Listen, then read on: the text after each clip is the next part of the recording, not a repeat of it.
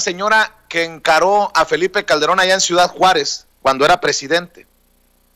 Frente al silencio del presidente, frente al silencio cómplice de Margarita Zavala, frente al silencio cómplice, obviamente, de Genaro García Luna, es que hoy ya no nos podemos quedar callados. Ya no lo hagamos por nosotros.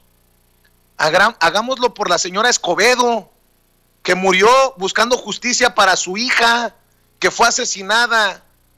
Hagámoslo por las muertas de Juárez. Hagámoslo por esta señora que con muchos pantalones se enfrentó a Felipe Calderón. ¿O qué? ¿Nos quedamos de brazos cruzados? Hagámoslo incluso por los periodistas, por Javier Valdés, nuestro colega asesinado en, en Sinaloa el maestro Javier Valdés, que ahora muchos se desgarran las vestiduras diciendo que lo extrañan y que aprecian su trabajo y hablan de él como si fuera un dios del periodismo. Bueno, cabrones, ¿dónde está la congruencia? Hagámoslo por los periodistas asesinados. Si quieren, también en este sexenio. En el sexenio de Peña Nieto, en el sexenio de Calderón. Yo no puedo decir no a la consulta popular para enjuiciar a los expresidentes cuando en mi equipo está Jesús Lemus, quien fue mandado a Puente Grande injustamente por Calderón y por eh, Genaro García Luna, fue mandado con los capos de capos, Rafael Caro Quintero, el grande, el mochomo, injustamente, por decir la verdad. Por eso les decía, vamos a recuperar de los archivos esto. Por eso, nuevamente Ceci, pónganos este video, que es el más dramático, de esta señora que le pide que se retracte a Felipe Calderón por haber eh, doble victimizado o revictimizado a sus aquellos muchachos que fueron asesinados en Juárez. En, en, esta pinche guerra contra el narcotráfico, de la que Felipe Calderón no ha, no ha pagado nada, sigue defendiéndola. ¿Y cuántos nos quedamos sin amigos, sin familiares?